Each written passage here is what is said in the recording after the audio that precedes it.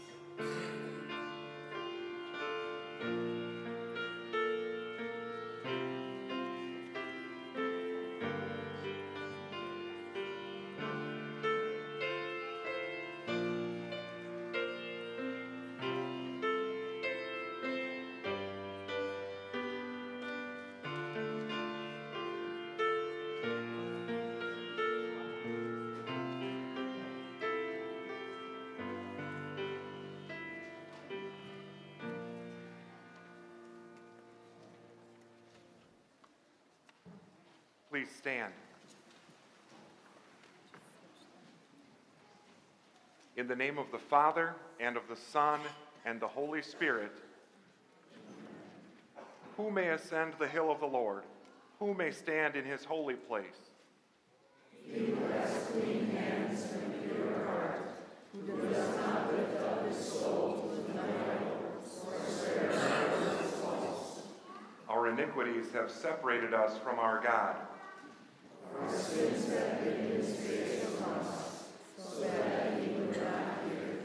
At one time, we were separate from Christ. Foreigners to the of without hope and without God in the world. Let us confess our sins to the Lord. Holy and merciful Lord, we confess that we were born sinful, banished from your presence. We have failed to carry out your law and even actively broken your commands. We are not worthy to approach you or to see your face. For our wrongs against you and our neighbor, we deserve to be separated from your goodness forever. Have mercy on us. You who were once far away have now been brought near through the blood of Christ. He is our peace. He reconciled all people to God through the cross. Through him, we have access to the Father by one Spirit. As a called servant of Christ and by his authority, I forgive you all your sins in the name of the Father and of the Son and of the Holy Spirit. Let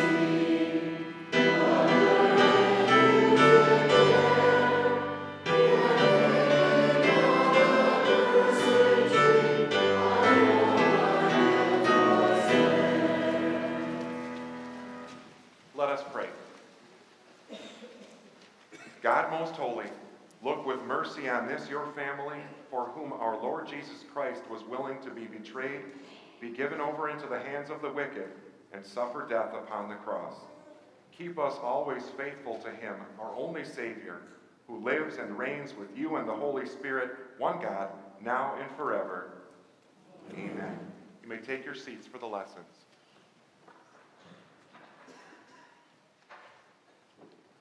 Our first lesson for today is taken from Leviticus chapter 16. We humans could not enter the most holy place in God's presence without sacrifice for sin on the Day of Atonement. The Lord spoke to Moses after the death of the two sons of Aaron who died when they approached the Lord. The Lord said to Moses, Tell your brother Aaron not to come whenever he chooses into the most holy place, behind the curtain, in front of the atonement cover on the ark or else he will die, because I appear in the cloud over the atonement cover. Aaron shall bring the bull for his own sin offering to make atonement for himself and his household, and he is to slaughter the bull for his own sin offering. He is to take a censer full of burning coals from the altar before the Lord, and two handfuls of finely ground fragrant incense, and take them behind the curtain. He is to put the incense on the fire before the Lord and the smoke of the incense will conceal the atonement cover above the testimony so that he will not die. He is to take some of the bull's blood and with his finger sprinkle it on the front of the atonement cover. Then he shall sprinkle some of it with his finger seven times before the atonement cover. He shall then slaughter the goat for the sin offering for the people and take its blood behind the curtain and do with it as he did with the bull's blood. He shall sprinkle it on the atonement cover and in front of it. In this way, he will make atonement for the most holy place because of the uncleanness and rebellion of the Israelites. whatever their sins have been. He is to do the same for the tent of meeting, which is among them in the midst of their uncleanness. No one is to be in the tent of meeting from the time Aaron goes in to make atonement in the most holy place until he comes out, having made atonement for himself, his household, and the whole community of Israel. Then he shall come out to the altar that is before the Lord and make atonement for it.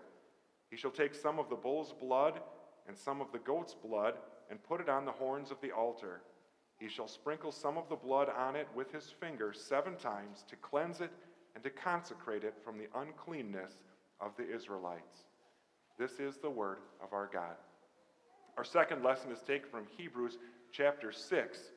We have a secure hope in Jesus who went before us into the inner sanctuary behind the curtain as our high priest. When God made his promise to Abraham, since there was no one greater for him to swear by, he swore by himself, saying, I will surely bless you and give you many descendants. So, after waiting patiently, Abraham received what was promised. Men swear by someone greater than themselves, and the oath confirms what is said and puts an end to all argument. Because God wanted to make the unchanging nature of his purpose very clear to the heirs of what was promised, he confirmed it with an oath.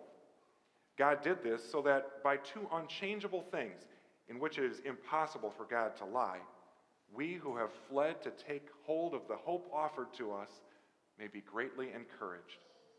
We have this hope as an anchor for the soul, firm and secure. It enters the inner sanctuary behind the curtain where Jesus, who went before us, has entered on our behalf. He has become a high priest forever in the order of Melchizedek. This is the word of our God.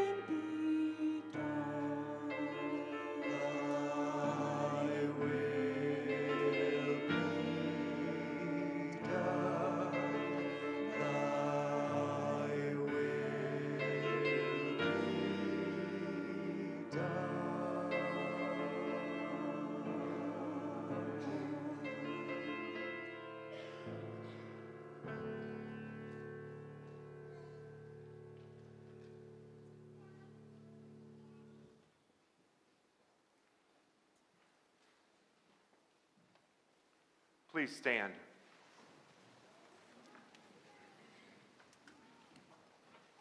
The gospel for today is taken from Luke chapter 23. When Jesus died, the temple curtain was torn and the way to paradise was opened. The people stood watching, and the rulers even sneered at him. They said, He saved others. Let him save himself if he is the Christ of God, the chosen one. The soldiers also came up and mocked him. They offered him wine vinegar and said, If you are the king of the Jews, save yourself. There was a written notice above him which read, This is the king of the Jews. One of the criminals who hung there hurled insults at him. Aren't you the Christ? Save yourself and us. But the other criminal rebuked him. Don't you fear God, he said, since you are under the same sentence? We are punished justly, for we are getting what our deeds deserve, but this man has done nothing wrong.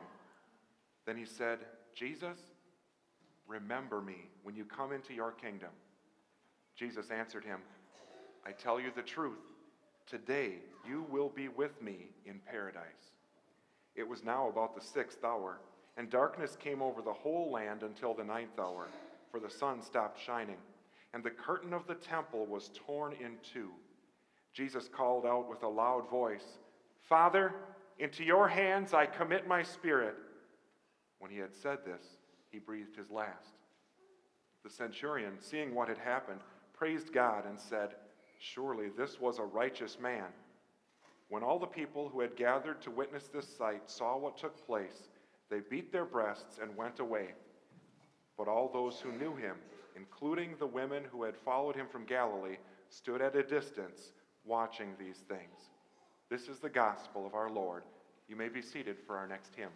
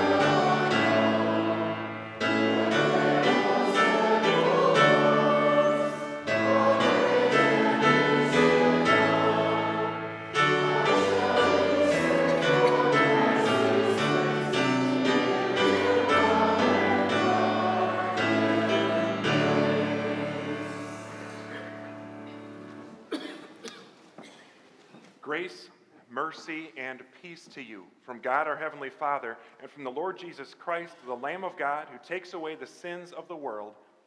Amen. The plotting and the payoff and the betrayal, the angry mob gathered, shouting, Crucify, crucify.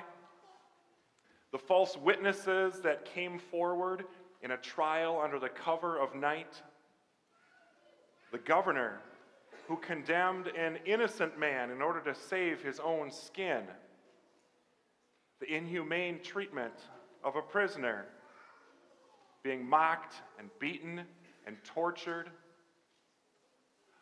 all of the religious leaders, all the way down to other convicted criminals, hurling insults at a dying man, the great healer wounded, bleeding, hanging, giving up his spirit. With all of the injustices and the indecency that happened on Good Friday, a person could rightly ask Is there any hope for humanity? And today, the same question could be asked. With lying and denial, with hatred and violence, with human trafficking, with millions being murdered before they even see the light of day, with broken promises, corruption, conspiracy. People today could still ask the same question Is there any hope for humanity? Yet today, from this section of God's Word in Hebrews chapter 6, the Lord wants you and me to have a hope that we can flee to, a hope that we can hold on to and never let go. He says, hold on to this hope. It's hope that's anchored in God's promises. It's also hope that advances beyond the curtain. The Christians who first read this letter to the Hebrews, that we now know as the letter to the Hebrews, they were feeling like they were in the middle of a storm with waves being blown this way and that out on the sea. Those Christians, they had seen several people, some of them, some other Christians, imprisoned, their property confiscated. They went through public insults and persecution. And just being associated with Christianity at that time was growing more and more uncomfortable. They were tempted to jump ship and go back to Judaism to go back to Old, Old Testament relationship with the Lord. And today, we do have something in common with them. Because oftentimes we are tempted to give up our hope too. With various storms in our life, things that batter and beat away at us, what is it for you? Has the death of a loved one made you feel like you're all alone? out on turbulent waters? Has a family split or a job loss made you feel like you're being beaten back and forth, rolling from one end of the ship to the other? Has the growing unpopularity of Christianity in our culture made you want to look for smoother sailing in some other worldview? Has your relationship with family members or friends made you feel like you're being beaten by wind and pelted with heavy rain? Do the various mistakes and failures in, in your life make you feel like a tidal wave of guilt is about to sweep over you? What is it that threatens to capsize your hope, threatens to shipwreck you in your life? This letter to the Hebrews, these words right here say that we have this hope as an anchor for the soul, firm and secure. Back in the early Christian church, back in the Roman world, an anchor was a very important symbol of hope for those out, out at sea. The Apostle Paul, as he was sailing to Rome on a ship as a prisoner, they encountered a very serious storm called a northeaster. They thought that the ship was going to split apart They were being driven along. They had lost control completely. They didn't see the sun or the stars for days at one time, but they did have an anchor. They let that anchor down, and the Lord used that anchor to help keep Paul and the rest of the crew safe. An anchor. That's what we have for our soul, firm and secure. This section talks about these promises of God. How he not only promised, but he also gave an oath. He swore by himself. It's not just one promise, but it's a double guarantee, extra certainty from the Lord. The Lord's promise to Abraham was that you'll be blessed and you'll have many descendants. Abraham didn't see that for a long time. In fact, he never saw those descendants in this life more than the stars in the sky. Just saw that one child of the promise, Isaac.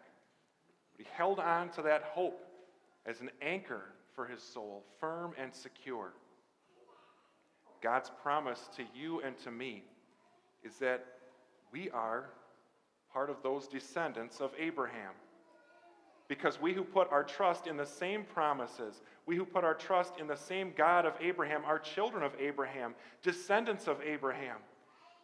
And when Christ died on the cross, that was God saying, He is the descendant. He is that descendant of Abraham through whom I will bless all nations. Jesus is that descendant who paid for the sins of the world, who has forgiven your sins you and your children and all who are far off, He is the blessing for you.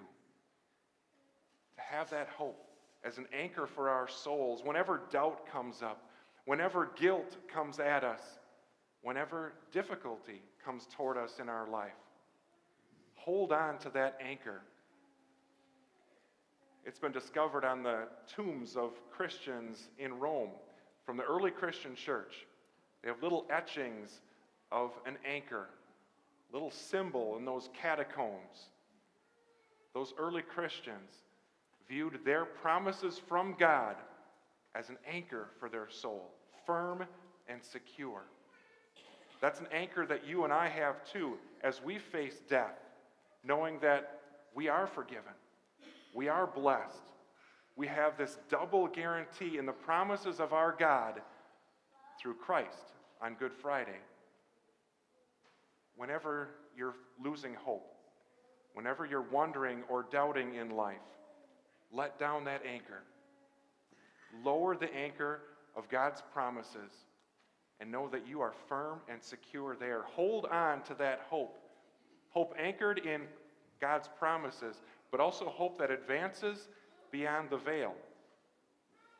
In the tabernacle and in the temple, there was a thick curtain that blocked the way into the presence of God, that blocked the way into the most holy place, the innermost room of the tabernacle in the temple. In the Torah, it's mentioned in the Old Testament that that curtain was made of scarlet and purple and blue fabric twisted together with cherubim woven into it by a skilled craftsmanship. Those cherubim can remind people of the cherubim God stationed at the entrance to the Garden of Eden. After Adam and Eve sinned, they were banished from the Garden of Eden. And God stationed cherubim there with a flaming sword flashing back and forth. Banished from God's presence, banished from paradise, separated from God. That's what the curtain reminded people. And you couldn't just approach God on your terms. It had to be on his terms. That's why in the first lesson we heard about Aaron's two sons, Nadab and Abihu. They tried offering unauthorized fire before the Lord, and fire came out from the Lord and consumed them. They died because they tried to approach the Lord on their own terms. Two sinful human beings. No sinful human being, not even an Israelite, not even a priest, not even a Lutheran, not even a called worker, can approach the Lord on their own. That curtain was a reminder. It separated you from your God, your sins. There in the most holy place, God appeared in a cloud above the Ark of the Covenant. But on Good Friday, when Jesus was crucified, that temple curtain ripped in two from top to bottom. That's pretty significant because it ripped from, from the top all the way down to the bottom. It was a thick curtain, couldn't be ripped just by human hands. It was the Lord's doing. It was ripped from top to bottom, not from side to side or diagonally as if the gravity had just pulled away at it or some human being was hanging on it. No, it was the Lord's doing that this temple curtain was ripped in two. It's only because of Jesus, our great high priest. He went ahead of us. This is such a big deal because it means that you and I, through Christ and his death on the cross, we can go beyond the curtain. We go beyond the curtain into the presence of God. We can stand there confident and forgiven. We can go beyond the curtain and expect that God will provide for us and protect us. We can go beyond the curtain and know that the way to paradise has been opened for us. We can go beyond the curtain. We know we will see God face to face with our own eyes, we and not another. How our heart yearns within us. We can go beyond the curtain and we know that we will live in glory with the Lord in his presence forever. Only through Christ, only through his sacrifice, our great high priest, not through the Ten Commandments, not through four noble truths, not through five pillars, not through six steps of the scientific method, only through Christ, our great high priest, we go beyond the curtain into the presence of God, redeemed and forgiven. Do you notice how this section of Scripture speaks about hope? Christian hope is different than the way the word hope is usually used. We might say, Oh, I hope the Brewers win the World Series this year, or I hope our farmers have a bumper crop. You might say, I hope it doesn't snow anymore this spring. And those things, they may happen. Some of them may be more likely than others, but I wouldn't stake my life on it. Yet a Christian can stake their life on this hope.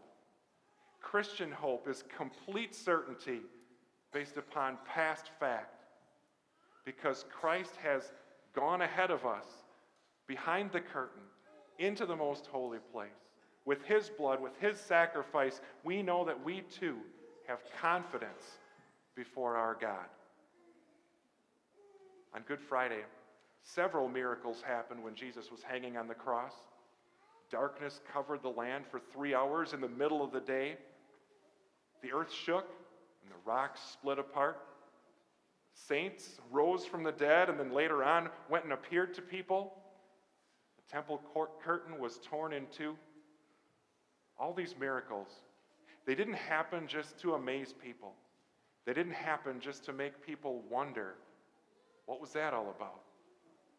Those miracles happened so that we have hope. True hope. Hope that we can run to, hope that we can hold on to, hope that's anchored in God's promises, hope that advances beyond the veil, hope for us, hope for the whole world, hope for all who put their trust in Christ.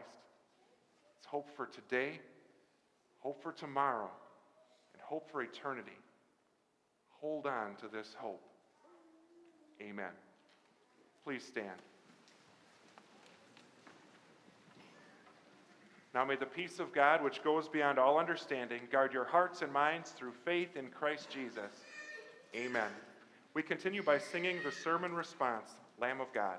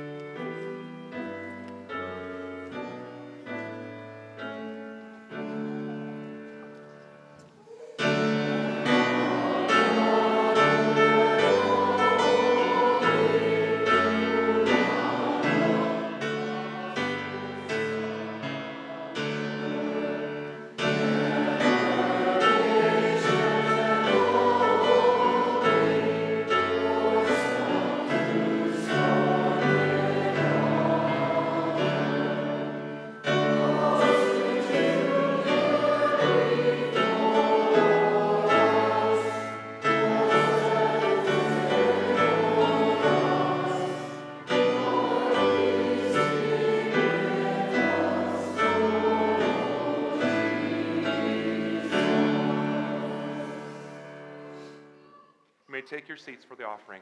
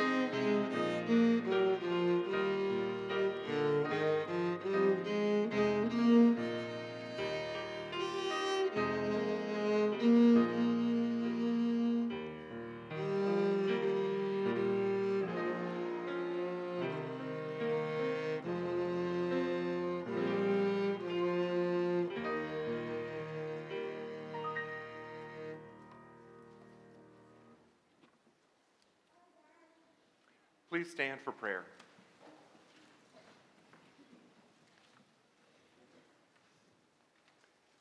Jesus, from the cross you prayed to your Father that he would forgive those who crucified you. What mercy, even toward those who were so hostile. You ask this forgiveness also for us, who by our attitudes have led you to be mocked and spit upon and nailed to a cross. By your cross you have traded our hatred for your peace. Help us to forgive others as you have forgiven us.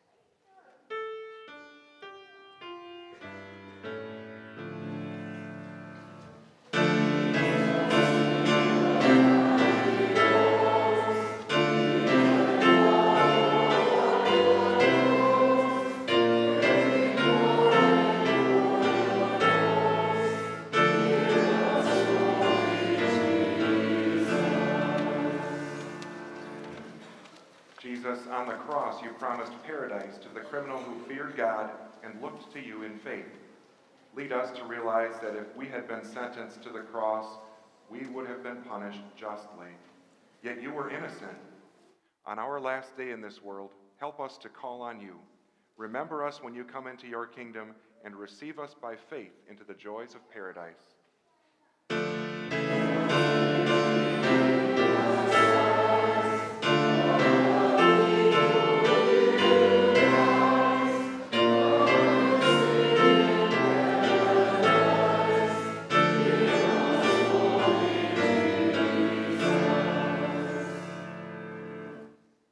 Jesus, you have given the blessing of family and friends. Even as you suffered on the cross, you sought to provide for your mother and the disciple you loved. By those words of love, you have made us your brothers and sisters. Give us a spirit of kindness and care toward our own families and toward the family of believers.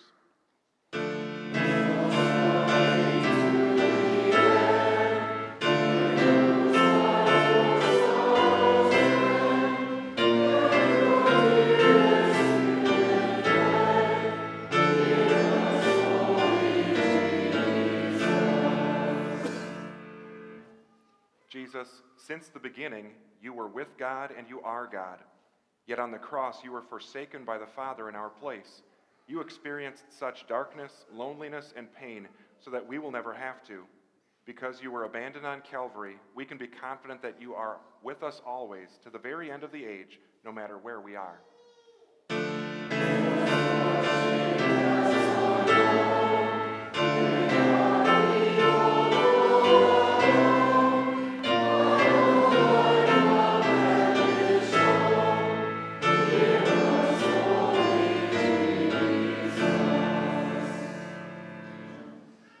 Jesus, on the cross, you experienced great thirst. Your tongue stuck to the roof of your mouth, and your strength dried up as broken pottery. Yet as your blood was spilled and as your life was evaporating, you were preparing a spring of living water for us, that we might drink and never thirst again. Help us always to trust in you, so that streams of living water may flow from within us.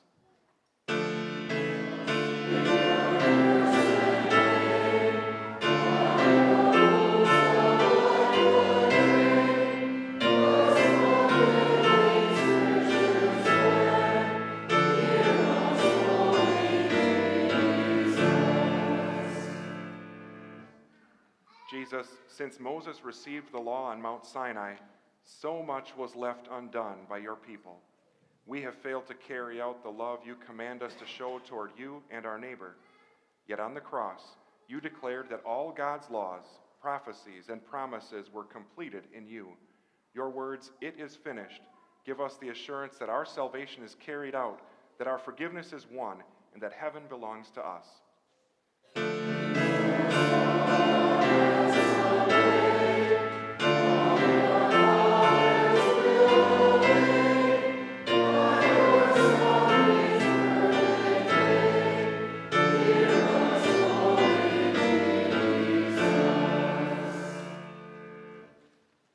It was your Father's hands that formed us in the womb.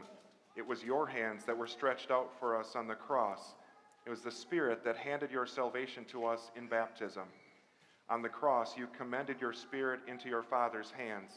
Because of the cross, your Father is also our Father. Help us also to pray to him with confidence, and on our last day, commit our spirit into his almighty and loving hands.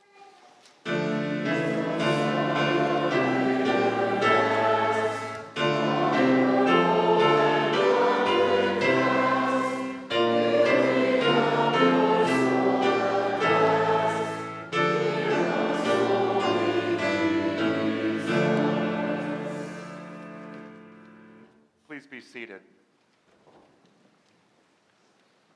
As Jesus hung on the cross, the temple curtain was torn in two from top to bottom. In Jesus and through faith in him, we may approach God with freedom and confidence.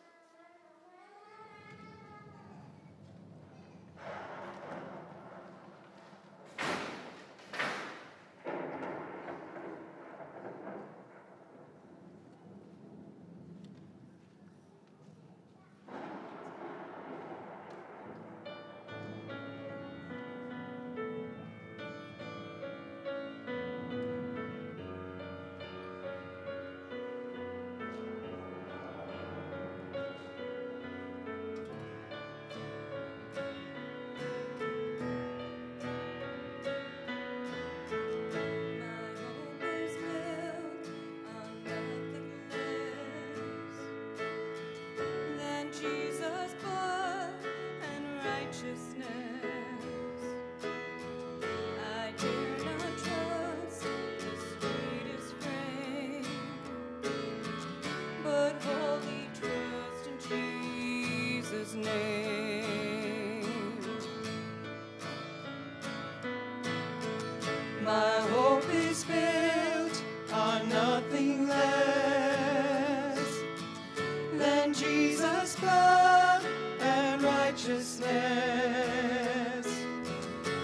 Dare not trust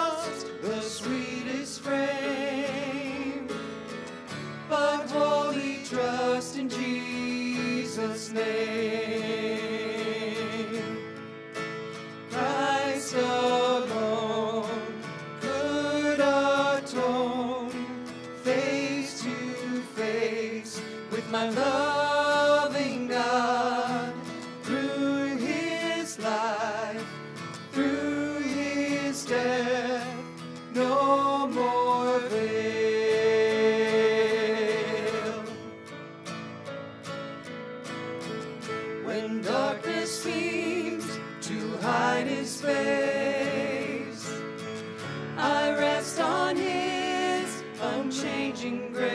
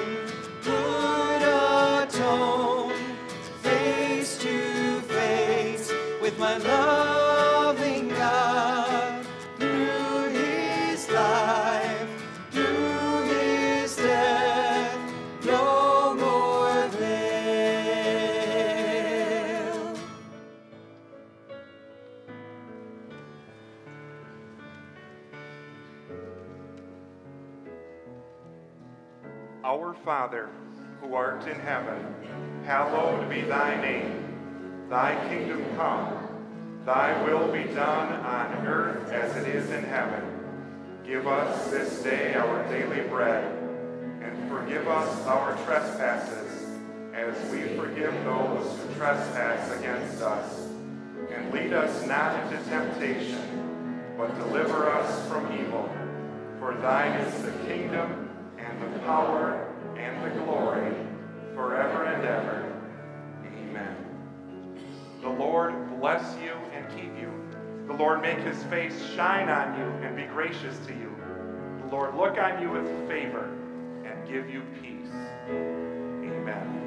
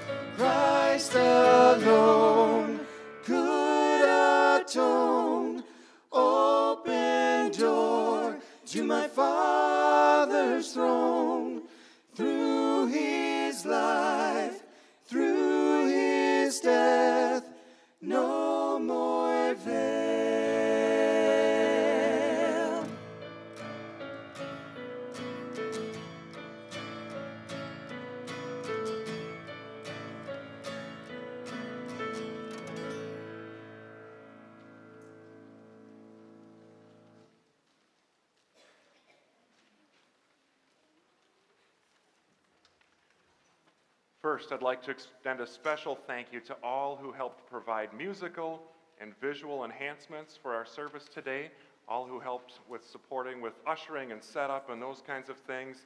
Back in the AV booth, thank you for every, everyone for your help using your gifts to God's glory.